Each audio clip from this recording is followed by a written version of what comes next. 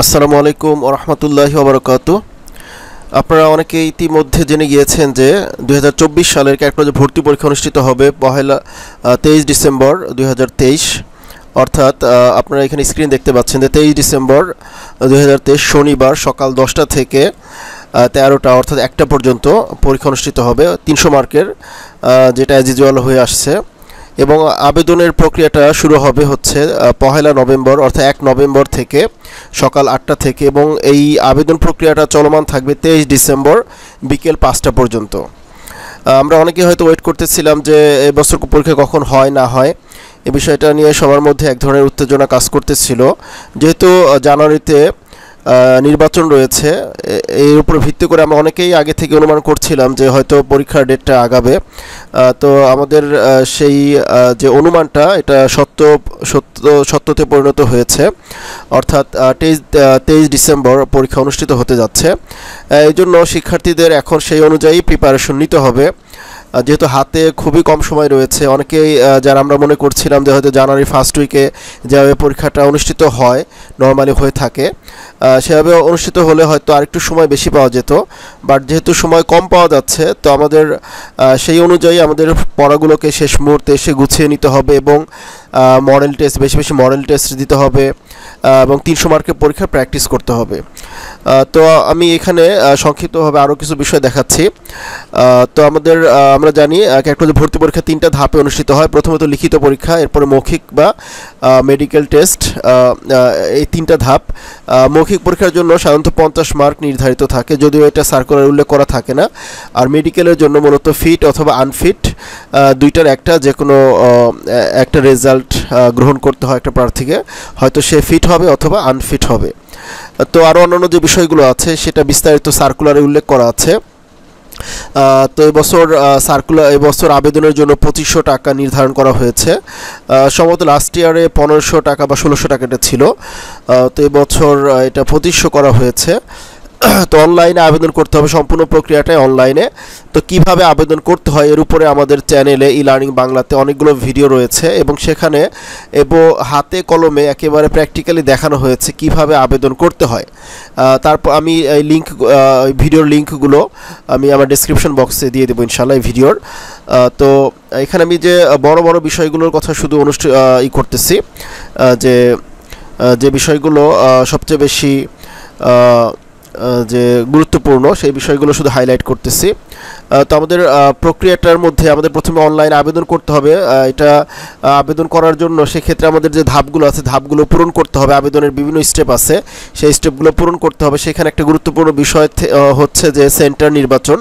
এখানে আমাদের আমরা হয়তো সবাই চাবো যে আমাদের কাছাকাছি যে সেন্টারটা আছে, সেই সেন্টারে যেন আমাদের পরীক্ষা অনুষ্ঠিত হয়। মোট তেইশটা সেন্টার রয়েছে। এখানে আপনারা দশটা সেন্টার দেখতে পাচ্ছেন। বিভিন্ন ক্যাট কলেজ তো বারোটা ক্যাট কলেজ ছাড়াও ক্যাট কলেজের আশেপাশে যে স্কুলগুলো রয়েছে কিংবা ক্যান্টনমেন্টের যে স্কুলগুলো রয়েছে, সেগুলোতেও এই পরীক্ষাগুলো অনুষ্ঠিত হয়ে থাকে। এখানে দশটা সেন্টার দেখতে পাচ্ছেন এবং কোন সেন্টার কোন ক্যাট কলেজের আন্ডারে সেটাও দেওয়া আছে। এরপরে আরও বাকি যে সেন্টারগুলো, সে, সেগুলো আমি দেখাচ্ছি। তো এখানে রংপুর ক্যাট কলেজ এবং রংপুর ক্যাট কলেজের আন্ডারে Rangpur cantonment public school and college সহ আরও অন্যান্য যে প্রতিষ্ঠান সেগুলো দেখানো হচ্ছে। আর এখানে আরেকটা, আমি আমার স্টুডেন্ট স্পেশালি যারা আমার অফলাইন স্টুডেন্ট আছে তাদের জন্য একটা সুসংবাদ হচ্ছে যে আমাদের সেন্টার আগে আমাদের সাভারের মধ্যে আগে সাভার ক্যান্ট পাবলিক কলেজে পরীক্ষা অনুষ্ঠিত হতো। এবার আমাদের যে কোচিং সেন্টার সেই কোচিং সেন্টারের আরও যে ইয়েটা যে কেন্দ্রটা আরও কাছাকাছি চলে এসেছে। অর্থাৎ যে সেনা পাবলিক স্কুল অ্যান্ড কলেজ যেটা আমাদের একদম পল্লী বিদ্যুৎ শাখার একেবারেই কাছে, এবং আমাদের যে অফলাইনের যে কোচিং আছে, সেটার একেবারেই কাছে। সেনা পাবলিকে এবার অনুষ্ঠিত হবে, এবং এটা মির্জাপুর ক্যাট কলেজের আন্ডারে ঠিক আছে, এটা আমার জন্য স্পেশালি সুসংবাদ বলা যায়।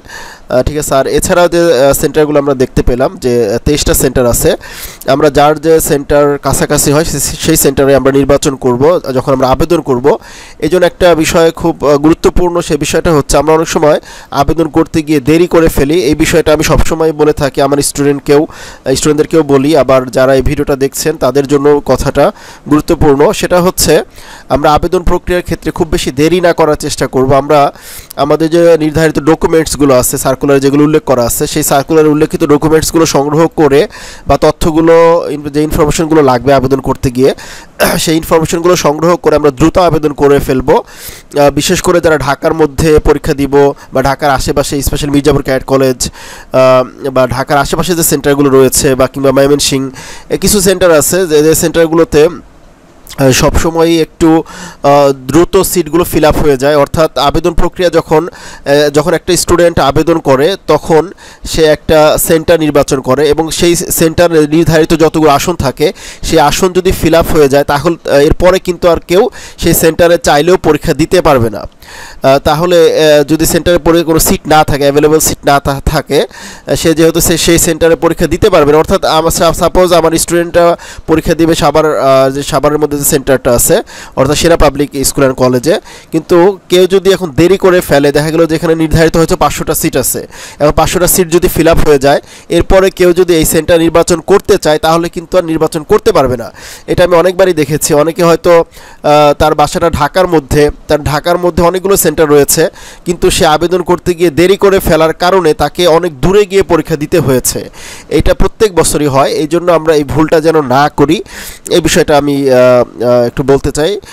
ঠিক আছে, এই বিষয়টা আপনারা অবশ্যই খেয়াল রাখবেন। আবার দ্রুত আবেদন করতে গিয়ে যেন আমরা ভুল না করে ফেলি বড় কোনো মিস্টেক না হয়ে যায়। এই জন্য নির্ভুলভাবে আবেদন করতে হবে কীভাবে, এই বিষয়ে আমাদের চ্যানেলে ভিডিও রয়েছে। আর সে সময় স্টুডেন্টদের জন্য আমার ই থাকবে অ্যাডভাইস থাকবে। তোমরা যা পড়েছো সারা বছর, এই পড়াগুলো বারবার রিভাইজ করবে।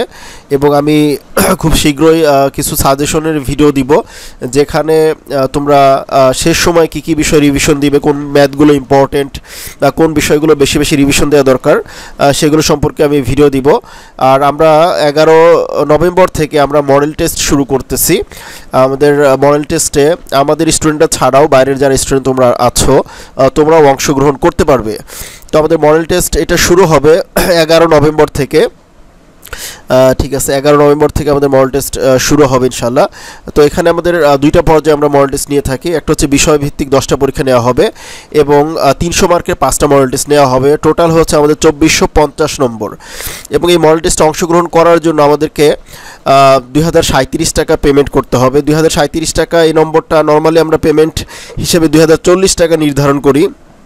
অর্থাৎ দুই হাজারের সাথে বাকি যে টাকাটা অতিরিক্ত থাকে সেটা মূলত যে বিকাশ বা নগদের যে চার্জ সেই যে চার্জটা যুক্ত হয়। আর দু হাজার সাঁইত্রিশ টাকা এখানে উল্লেখ করা হয়েছে যেন আমরা বুঝতে পারি যে এই টাকাটা মডেল টেস্টের জন্য দেওয়া হচ্ছে। এই জন্য আপনারা যারা জয়েন করতে চান বা আপনার বাচ্চাদেরকে জয়েন করাতে চান, তারা অবশ্যই দু হাজার সাঁইত্রিশ টাকা এক্স্যাক্ট এই টাকাটাই পেমেন্ট করবেন। সেটা নগদ বিকাশ নম্বর, এই একই নম্বরই হচ্ছে আমাদের বিকাশ এবং নগদ নম্বর, এটা আমার নম্বর।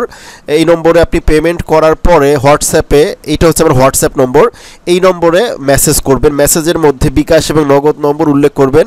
শিক্ষার্থীর নাম, স্কুল, ভার্সন, জেলা এবং যোগাযোগের জন্য একটা নম্বর দিবেন। ঠিক আছে?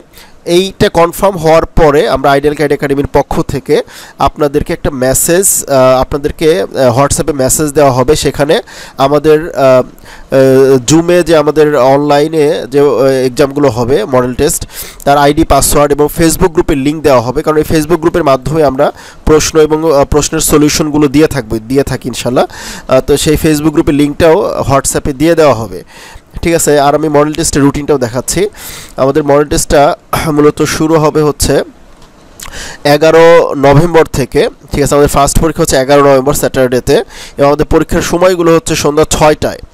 ঠিক আছে, আমাদের অনলাইন যে ব্যাচগুলো আছে ব্যাচ ওয়ান টু থ্রি সবার সবাই পরীক্ষা অংশগ্রহণ করতে পারবে এবং বাইরের যে স্টুডেন্টরা আছে, তারাও এই পরীক্ষায় অংশগ্রহণ করতে পারবে এবং কেউ যদি সন্ধ্যা ছয়টায় পরীক্ষায় অংশগ্রহণ করতে নাও পারে, কেউ চাইলে নিজের ইচ্ছে মতো বাসায় অন্যান্য সময়ে সে তার নিজের সুবিধা মতো সময়ে পরীক্ষায় অংশগ্রহণ, নিজে নিজে পরীক্ষা দিয়ে নিতে পারবে, এটা কোনো সমস্যা নেই। বাট আমাদের যে আমরা যে নির্ধারিত সময়ে পরীক্ষাটা শুরু করব সেটা হচ্ছে সন্ধ্যা ছয়টায়।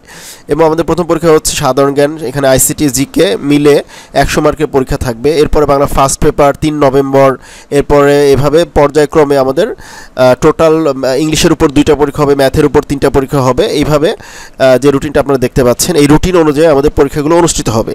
এরপরে হবে আমাদের তিনশো মার্কের চূড়ান্ত মডেল টেস্ট যেটার পরীক্ষাগুলো আমাদের ডিসেম্বরে শুরু হবে। সাধারণত ওই সময়গুলোতে বাচ্চাদের স্কুল অফ থাকে।